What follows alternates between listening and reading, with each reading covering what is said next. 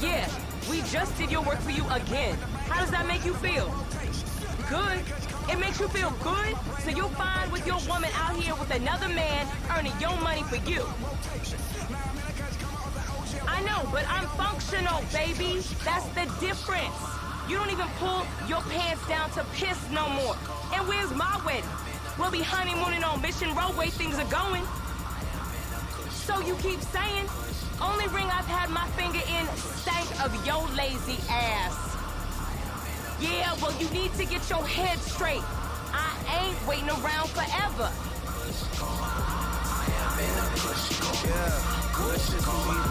Yeah,